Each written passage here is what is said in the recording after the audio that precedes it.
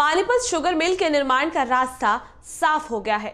लगभग 70 एकड़ भूमि में बनने वाले नए शुगर मिल के निर्माण पर साढ़े तीन करोड़ रुपए की लागत आएगी। आपको बता दें कि पानीपत शुगर मिल का लंबे इंतज़ार के बाद शिलान्यास हुआ। प्रदेश के सहकारिता मंत्री ने स्थानीय विधायकों और प्रशासनिक अधिकारियों के साथ हवन करने के बाद नए शुगर मिल का शिलान्यास किया।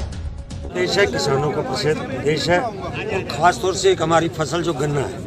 गन्ने से हमारे किसानों की आमदन अच्छी होती है, इसलिए जो शुगर मिलें लगी हुई हैं जो हमारे हाथ में दी थी उसकी कैपेसिटी कम थी। इसलिए मैंने हरियाणा की शुगर मिलों में मेरी जब 2016 में जिम्मेवारी दी गई, माननीय मुख्यमंत्री साहब ने कहा कि मेरा प्रदेश किसानों का गन्ना ज़्यादा होता तो इनकी कैपेसिटी बढ़ाई जाए। माननीय मुख्यमंत्री बात बात को मानते हुए 10 की 10 शुगर मिल जो कॉपरेटिव के और एक हैफर्ड की है। ग्यारह शुगर मिल कैपेसिटी का है। दे दिया जिसमें आज आपकी पानीपत होगी, कनाल पैंतीस की होगी, शाहबाद हमने बढ़ा दी, रोहतक बढ़ा दी सोनीपत की बढ़ा दी, जींद की हमने कर दी, पलवल की कर दी, ऐसे ग्यारह की ग्यारह शुगर मिलों की कैपेसिटी बना रहा हूँ, जिससे मेरा प्रदेश का किसान अच्छा गन्ना बोए और समय से खेत खाली कर जाए और समय से मेरी मिल पिराई कर दे, जिससे गर्मी सीज़न के अंदर रिकवरी कम आती है और किसान को लेबर भी महँगी पड़ती है। इसलिए मैं समय से 30 अप्रैल तक फैक्ट्रियाँ बंद हो ऐसी है मेरी एक डिस्टेली के बारे में मैंने नहीं कहा ना डिस्टोली ना अथरोल। अभी मैंने किसानों के उसके बाद डिस्टेली का और अथरोल का। उसकी स्टडी करूँगा।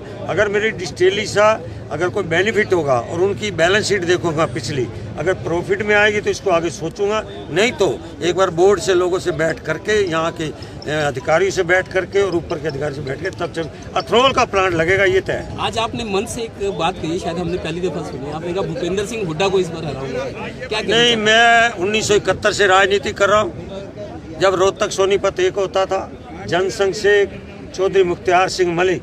मैं उस टाइम बूथों की पर्ची बांट रहा, दीपक का चुनाव, वहाँ से चौधरी मुख्तियार सिंह मलिक जो सोनीपत से थे, उनको मेंबर ऑफ़ पार्लियामेंट जिताया था, कश्मीर से करने आज मैं पूरी कह सकता हूँ, जिस तरह हमने मेयर का चुनाव, उसके घर में हमने हराया है। जहाँ मेरा घर भी वही है, चौधरी भूपिंदर सिंह का वही है, आपके वहाँ की कलानूर की विधायिका शकुंतला खटक की वही है जो शादीलाल बत्रा है, पूर्व विधायक, पूर्व मेंबर ऑफ़ पार्लियामेंट राज्यसभा, उसका भी है। मैंने वहाँ 2500 वोटों से उनको हराया है। और जिस तरह आवाज़ है, ग्रामीण क्षेत्र भी इसमें भारतीय जनता पार्टी में हमारे काम के साथ, किसानों के साथ किया है, क्योंकि पिछली बार 10 साल वो पिताजी उनके मुख्यमंत्री थे और Bhupendra, Dipendra Hooda member of parliament थे।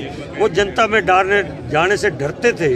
इसलिए उन्होंने एक मेडिकल से सर्टिफिकेट ले लिया कि मेरी टांग में दर्द है। इसलिए वो जनता उनसे काम पूछती और पिताजी के मुख्यमंत्री नाते वो एक लाख तीस हज़ार वोटों से जीते थे। आज राजनीतिक रोहतक की प्रदेश की बदली है। इसलिए आज उनके पिताजी मुख्यमंत्री नहीं और हमारे विकास केंद्र और प्रदेश के विकास के नाम से हम इस बार दीपिंदर हुड्डा को उनकी जनता के आशीर्वाद से इस बार उनको पटके। सर बहुत मांग रहे विपक्ष क्या कहना सर उसको? विपक्ष के पास कोई मुद्दा नहीं है।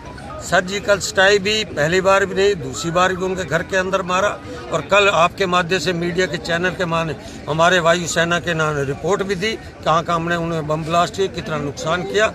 इसलिए आज वो विपक्ष के पास मुद्दा उनको लगा कि आज वायुसेना की हमारी सेनाओं का मान सम्मान बढ़ रहा है तो सेनाओं के बढ़ने से और इच्छा शक्ति बन रही है। मैं कहना तो छब्बीस ग्यारह के अंदर, जब ताजमहल के अंदर हमारे 190 वहाँ सिविल पर्सन मारे गए, उस टाइम भी किसी ने हिम्मत नहीं जुटा पाए। आज हमारे 40 जवान मरे हैं और ये एक इतनी पुरानी हमारी समस्या है आतंकवादियों को। मोदी जी ने कहा, मैं इसका अंत करूँगा, ये मेरे खाते में लिखा है, इसलिए आतंकवादियों को खत होगा, अंत करेंगे सेना करेगी और जिनकी इच्छा शक्ति राजनीति वही करेगा, बेशक जीएसटी हो, नोटबंदी हो, कोई भी अगर वो जनता के हित में निर्णय ले, वो निर्णय ले सकता देश का प्रधानमंत्री। कैबिनेट की बैठक में अभी महिपाल ढांडा जी कह रहे थे किसानों को जो पेंशन अपनी तरफ़ से हरियाणा सरकार कल हो सकता है इस तरह की उम्मीद है कुछ? नहीं वो तो दे दिया विधानसभा में दे दिया।